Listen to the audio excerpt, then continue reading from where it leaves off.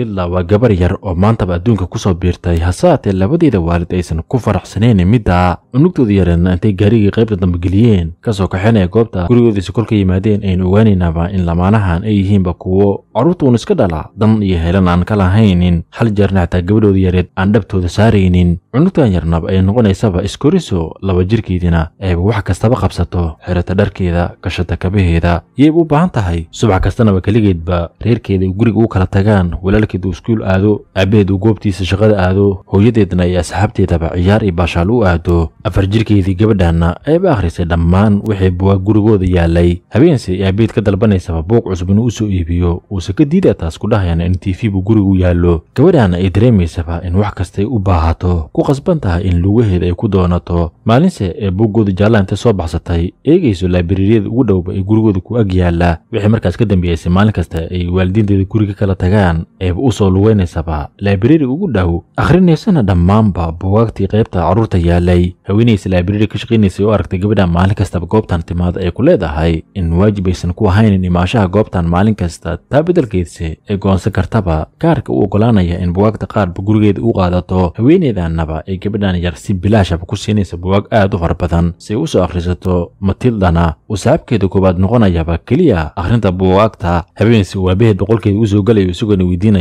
in maantaba alaab ay u timaaday ay isugu leedahay maya kolkuusa arkay bugaag aad u fara badan oo meesha dhooban uu kuleeyahay bugaagta xaggaad ka keentay isugu jawaabayso in laibrarigay ka soo deensatay. Tiise uuba aad u la tacajabayo maadaama gabadhiisa uu qiyaasayay in afar sana jir ay tahay ay isku half. in afar sana ayba jirin da'deedan ay tahaba lix sana iyo bar. Halkiisa ay ku wada murmeen uuba gabadhiisa u keenayaba aabaheed weydiinayana da'da gabadhood ay jirto. Layaabse hooyadan ay iyadana war ka hiinba da'da gabadheed ay jirto maadaama se ay joogtaba da'dii iskuulka ay bilaabi lahayd aabaheed ka dalbanaysaba inuu geeyo uuse ka diidayo maqribse aabahanba isagoo faraxsan guriga dib ugu soo noqonayo ugu faalinayna reerkiisa in maanta baabuur aad u fara badanba ay u gadmeen odigaana shaqadiisa ay ahaydba in baabuurta jajaban dadka inay soo dhaceen intuu soo iibsado dabadeed dayactiro lacag badanba saarta wiilkiisi yaraan ku dhahaya soo qabso qalin iyo buug si uu ugu qoraba faa'iidada maanta uu soo sameeyey. Aabbihiisi oo si degdeg u hadlayay qori karina wax uu ku hadlayo gabadhii yareed ayba si fududba faa'iidadii maanta uu soo sameeyey farta ka saaraysa. Aabbahaas uu qiyaasayo in gabadhiisaba. Ay qistaba xoogta u qoranba noodkiisa ay isku leedahay inayba kala fog yihiin arkinna isagoo aanan aaminanse uba canaan ooda kaga qaadaya gabadhan yar. Hadalkii nagu soo gebagabeynaya in dadka xunba u qalmaan in cashir loo dhigo. Dhegtin intuu ka soo qabtay qolkeediiba keenaya iyadoo soo ogeed in waalidiinteedaba yihiinba dad xunxun ayba go'aansanayso inayba cashir u dhigtaba isaga laftiisa. Subaxiina intayba daawadii odigaan timaha ku madoobaysa jiray si bidaartiisa aan loo arag ayba ugu bedelaysaba daawo u gaar ahaydba dumarka. Isagoose si farxad leh timihiisaba subaxii ugu bubuubsanaya dawadii uu arkayaba timihiisii in ciraba isku bedeleen sidoo kalena ogaanina in waxyaabahan guriga maalin kasta loogu keen ay yihiin sberbartis gawaarida ah kuwaas uuba ka sii iibsadaba tuugada magaalka si xaruntiisaba ugu sii iibiyo uusa sawar ka hinin koox f b i ah ay dabagal ku hayaan isla subaxaas labadiisa carruurba keenayaba goobtiisa shaqada isagoona u sharaxayaba meeshan iyo wuxuu ku hayo ku dhahayana in gaari jajaban uu boqol dolar ku soo iibiyo. Dabadeedna intuuba dalac bilaasheeyo birooyinka ka jajaban gaariga koola bir u mariyo rinji yarna uu qorxiya ka sii iibiya dadka lacag toban kun dolar gaariisana uga qaata gabadhan yarse oo aabeed ku tilmaamaysaba mid khiyaanola ah uuse ku leeyahay in adduunkanba in si dacadood u shaqaysato weligaaba aadan taajir noqonaynin. Gabadhiisa oo doodii ka joojin ay ku leedahay in dadkaba ay u qalmaan in gawaari fiican uu ka iibiyo uuse ku leeyahay. Isla wakhtigiisa hooyada reerkanba meesha imaanayso iyadoona ku qaylinaysa inay ku soo guulaysataba bakhtiyo nasiib. Maantana reerkaba ay iyada u casuuman yihiin intaysa goobta ka tegin gabadhan yarba ay aabaheed siinaysaba koofidii uu ciradiisa ku qarsanayay. Cashirse si ay uga dhigta aabaheed ayba koofidiiba ma marisay koola birtii maqaadiisa ay yimaadeen haweenaydan ninkeeda ku leedahay in koofidan fildarada badanba uu ka saara madaxiisa isagoo si isku dayay uuba ku guuldaraysanaya taa xaaskiisana ugu shakinaysa in maqaayadan ay keentay uusan jeclaysan uu isugu leeyahay in goob fiican ay tahay. Aad say uga xanaadaba koofidantiisa ayba iyadiiba gudayso inay ka saarto. Ardamaad dheerse ay la gashay isla iyadiina ay ku fashilmayso maadaama koola birtiiba iyo odigan bidaartiisaba isku dhegeen foodana ka kicinayaba maqaayadii ceebsay gurigooda kula soo noqdeen haweenaydanba ay ninkeeda isku dayayso in maqasba kaga saartaba koofidii ugu dambayntiisa ay ku guulaysanayso xaggiisa ay ku wada cashaynayeen tiifigoodana ku daawanayeen aabbahan uu arkayaba gabadhiisa oo wadan ka lahayn wax meeshan ka socda weydiinayana in iyada ay tahay qayb ka midaba familkan aysan u jawaabin si qasaba gabadhiisii show ay daawanayeen ku daawasiinaya. Aad say ugu xanaaqda tahaa indhahaydiiba ku qarxinaysaba tv tvgii iskuna arkaysana markii ugu horraysaba awooddan maalinkiisa goobtii shaqada odigan ay gaari ka iibsanaysaba haweeney mrs buufin la yidhaahdo oo iskuul carruurta ay dhigtaanba maamulo ka ahayd ku soo noqshada gurigiisa habeenkii uu ku leeyahay gabadhiisa inba hadda kadib iskuul xaadiri doonto. Tiis ay aad ugu faraxday u mahadcelinaysa aabaheed. Maalinkiisa koobaad iskuulkeeda meeshaaba laba saaxiib ay ku yeelanayso. Ogaanaysana maamulaha iskuulkan mrs buufin ayba tahay mid xaasidad ah. Carruurtana bilaa naxariis ula dhaqanta. Ardaygiina hadal ku soo celiya ayba wirifkii camalba u tuurto. Arday ka midaysa fasalkeeda uu ku leeyahay inayba u dhaanto in wirif ahaanba loo tuuro. Beddelkii la geli lahaaba qol aad uur badan oo maamuladanba ardada gan ahaanba u geliso xaggaas ay kula kulmaysaba macallimadeeda miss malab oo ahba mid aad u fiican ardadana si fiican ula dhaqanta. Xiisadiise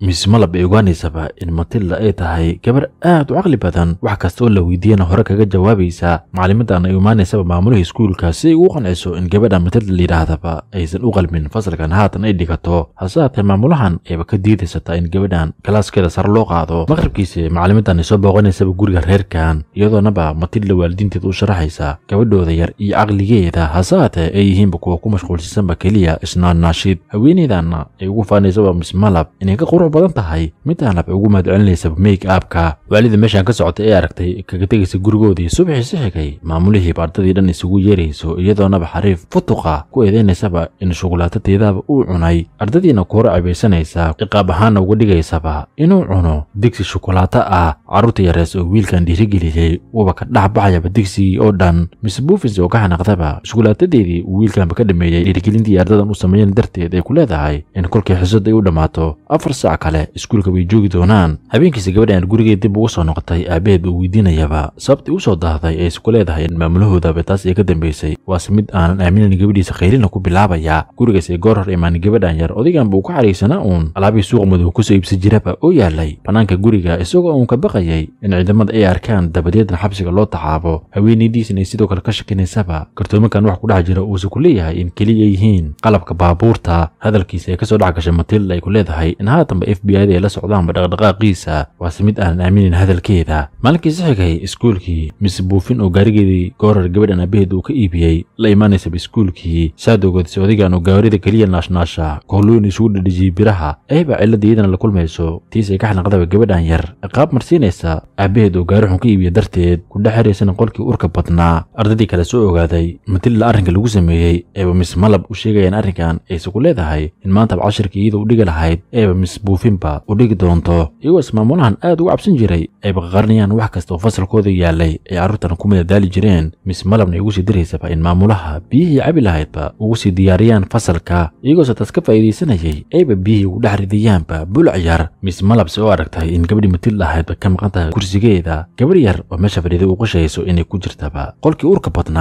maamuladiisa oo cashar booto badanba ardadii siinaysay. Macalimadii ficneedba ay gabadhii ka soo bixinaysaba goobtii goorhor lagu xirayaba gabadhan yar dibna ugu soo celinaysa fasalkii. Maamuladaanse oo bootadii ku daashay biyina cabaysay ay arkaysaba bulcii oo biyaha ugu dhex jira. Ardadiina ay bilaabayaanba inay aad ugu qoslaan. Maamulahana ficilkaas ay ku eedeynaysaba gabadhii matilda ahayd inay ka dambaysay ugu hanjabaysana inayba ciqaabi doonto maadaama ay tahay cunug yar iyadan ay weyn tahay. Bootadeedis ay bilowday cay ooda kaga qaadana waalidkeedii goorhor ka iibiya gaariyaan ciladaysan. Gabadhan ay xanaaqayso isticmaalaysana awooddeediiba wax eegidda galaaskii biyaha ay ku jirana jibinaysa bulciisa ku jiray uu haweenaydan dusha ka korayo iyadoose xayawaanada aad u nacabayd ayba xaggaas ku boodboodayso carruurtiina ay yihiinba kuwo aad ugu qoslayataa wakhtigiisa bareega iyadii macallimadoodin galaaska ay ku hareen ayba ku leedahay inayba ahaydba qofka goorarba jibiya galaaska leedahana awood aan caadi haynin iyadoose taa aan fahmin. Ayba isku daysaba inay u caddaysataa maadaamase gabadhan ay ahayn mid aan xanaaqsanayn ku fashilmaysataa. Macallimadaana gabadhan casuumaysaba in gurigeeda ugu timaado siba arrinkan ugu sii doodaan. Intaas kadibs gabadhan yar la wadaagaysaba qisadeeda kudhaysana kolkii laba sana jirtaba hooyadeed ay geeriyootay waxay markaas ka dambeeyeen aabaheed uu guriga keenaba ayadeed oo ahaba miss buufin si ay u koriso iyada hasaate ayadeed miss buufinba ay si xun ula dhaqmi jirtay. Markayse shan sano gaartaba aabaheed adduunku u macsalaameeyey isagoo naba isdaldalay. Ayna dhacday dhimashadii aabaheed kadib in wax kasta uu aabaheed lahaa ay gacanta ku dhigtaba miss buufin iyadiina guriga ka soo saartay. Miss malabse oo gabadhan yarba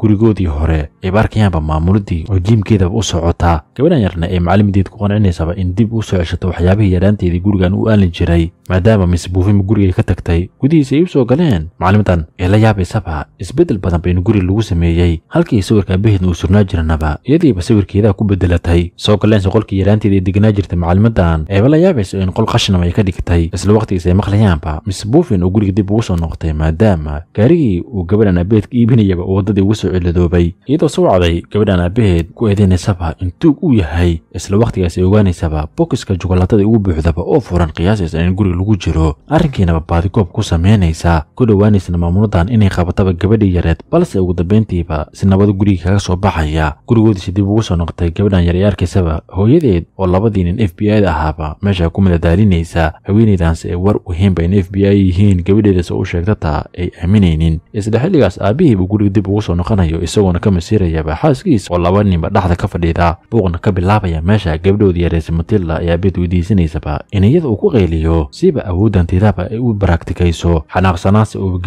ku ceyl baxayo ku guulaysanaysana tijaabadiiba awooddeeda albaabkiinaba keliya indheheediiba ku xiraysa ogaanaysana in awooddanteedaba keliya ay shaqaynaysa kolkii waxa ka caaraysiye ay aragto. Wixii markaas ka dambeysay gabadhan yarba awooddeedii ay wax ka sii baranayso maalinse raggii f b i da ahaa ay jabsanayaanba garaashkii abood goobta uu ku yaalay iyadoo se aragta raggan eeba ugu digayso in midaaba dhibaatay kala kulmi doonaan maadaama aysan haysan warqaddii u oggolaanaysay in baaridii ku sameeyaanba garaashkan la socodsiinaysana inay akhrisaba. Buugga qaanuunka kaasoona sheegaya in ciidamada aysan geli karinba qof kale gurigiisa iyagoo aanay haysan warqaddii shatiga ahayd. Tan ay ku sabi karto in shaqadoodaba ay ku waayaan amaba xabsigaba ay isku xoqoxoqaan isku leeyihiin in qofka xabsigaba ganaacada ku dhamay doonto uu aabaheed yahay. Awooddeeda si ay isticmaashay gaarigoodiiba socodsiinaysa iyadoonaba ka farsamaysanaysa canjaladii ay ku duubnaayeen caddeymihii goor kasta aabaheed ay ka qaadi jireen iyadoose isticmaalaysa awooddeeda ayba habeenkii imaanaysaba gurigii miss buufin ay deganeed si ayba macallimadeedii miss malab waxyaaba gurigan ka yaalaba ay ugu soo qaado sheeko cabsi cabsihan u daaraysaba maamulihii ugu dambaynteena uga soo qaadaysaba haweenaydii bombolo ay aad u jeclaan jirtay berigee yarayd. Macallimadiisi ay ogaanaysaba in qofkan caawa cabsid u shidaba ay taaba gabadhii matilda ahayd maadaama ay heshay baalkan gabdhaha madax loogu xirxiro. Maalinkii socod iskuulka ayba macallimideedii ku qancinaysaba in awood ay leedahay iyadoona dib ugu celinaysaba boombaladii yaraanteeda jeclayd. Xiisadiisi maamulihii ee galaaskooda imaanayso iyadoonaba gabadhan yar ku eedeynaysaba in xaalaba ay ahayd qofka cabsida u daaray. Awooddeedase mar kale isticmaashay ayba sabuuradii ku qoraysaba qoraal ay ku caddaynayso in maamulahooda ay ahayd qofkii ka dambeeyba dilidda miss malab aabaheed. Maamulahaas oo ka xanaaqday sirteeda bannaanka la soo dhigay ayba carruurtii yareed weerar ku qaadayso hase haatee matilda oo awooddeeda isticmaalaysaba. Iyadana ay difaacayso waana kuwa macallimadiisi qasab iskuulkoodii kaga soo saaraya ku qasbayaan in magaalkii dhanba ay ka hajirto. Kabixidiisa magaalkan miss malabba ay dib ugu noqonaysaba guriga aabaheed. Waxay markaa ka dambeeyeen gabadhan jiray gurigaas waqti badan ay ku wada qaadan jireen maalinse waalidiinta matildaba gurigaas ay imaanayaan iyagoona doonayaan goobtaasi ka kaxistaan gabadhooda maadaama ay ka baqayeen in aabbaha gurigaba f b i da xogtiisa ay heshay. Xabsina loo taxaabi rabay ka baxsan rabeenna magaalkan. Hase haatee matilda ay ka diidaysaba in waalidiinta ay raacdo. Ka dalbanaysana waalidkeeda inay u ogolaadaan la noolaashaha miss malab. Markii horese ay ka diideen ugu dambayntiiba u saxiixayaba warqaddii u ogolaanaysay in haatan kadib matilda ay waalid u noqon doontaba miss malab. Xaggiina ku macaslaaminaya gabadhoodii yarayd. Halkiinaba miss malab iyo gabadhan ay reer ku wada noqonayaan in haweenida noqonaysaba maamulaha iskuulka carruurtan ay dhigtaan maadaamase gabadhan yar ay aad ugu faraxsantaaba la noolaashaha macallimadan ay bugaansanaysa in awooddanteedaba aysan sii isticmaalin keliyase baashaal baashaal unu isticmaasho. Filimkan wuxuu ku dhammaanayaa matilda oo macallimadeedaba cod sare ugu akrinaysaba sheeka carruureed kumasin daawashadaada waxaynoo balna filim kale nabadgelyo